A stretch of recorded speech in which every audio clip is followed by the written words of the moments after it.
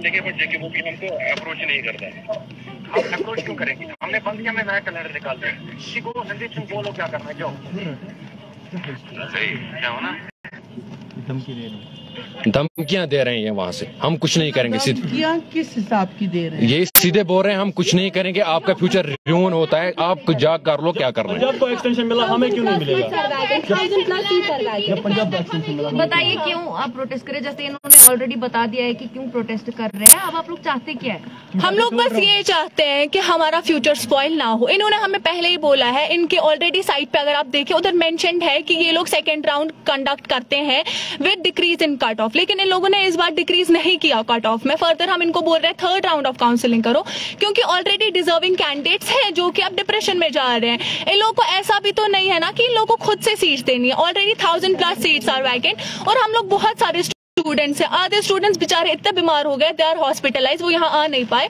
और हम कुछ बच्चे यहाँ पर है जो कि उनको रिप्रेजेंट कर रहे हैं आपने बताया आप ओपी ऑफ़िस के बाहर है कि आपने अंदर जाने की कोशिश जी हमने हम लोग बोपी ऑफ़िस के अंदर जाने की हमने कोशिश की। हम इवन वहीं पे थे हमें पीसफुल प्रोटेस्ट करना था। लेकिन उन्होंने हमें अंदर जाने नहीं दिया।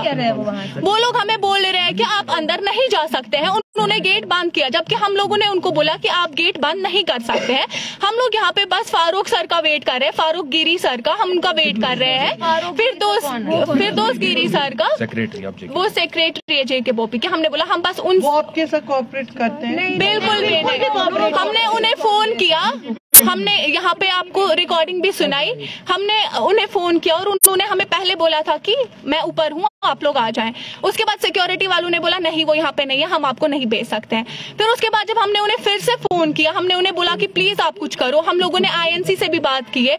हम लोगों ने बाकी डिपार्टमेंट से भी बात की जबकि आईएनसी ने हमें बोला कि, ये सेमी ये ऑटोनोमस है खुद से कर सकता है काउंसिलिंग लेकिन ये नहीं कर रहे और फर्दर वो हमें बोल रहे हैं कि, आप लोग को जो मर्ज़ी है, जाओ करो, जो भी कर रहा है। हम लोगों ने कैलेंडर अपना इशू किया है नया, हम अब कुछ नहीं कर सकते, आपका फ्यूचर तबाह हो गया इन शॉर्ट में, वो लोग नहीं करेंगे। कट ऑफ़ भी डिक्रीज नहीं किया थर्ड राउंड भी नहीं करे, जबकि सब में सीट्स वैकेंट डिमांड क्या है हमें सीट्स मिल जाए हमारी जो डिजर्विंग सीट हमें हमें चाहते हैं कि हमारी काउंसलिंग हमारी कंडक्ट हो हो। जो सीट वैकेट है वो वैकेट नहीं रहनी चाहिए। इन शॉर्ट ये इवन इवन सुप्रीम कोर्ट का ये ऑर्डर है मेरे पास नहीं है लेकिन बाकी बच्चों के पास है। सुप्रीम कोर्ट का ये ऑर्डर है कि कोई सीट वैकेट नहीं रहनी चाहिए। बट फिर भी यहाँ सीट वैकेट रहती हैं जाया होती हैं जबकि बच्चे चाहते हैं और डिजर्विंग डिजर्विंग कैंडिडेट्स यहाँ पे है। हैं और मैंने आईएनसी से खुद बात की उन्हें बोला? मुझे कोई एतराज़ नहीं है एक्सटेंशन देने से। बस जेके बॉबी मुझे अप्रोच नहीं कर रहा है।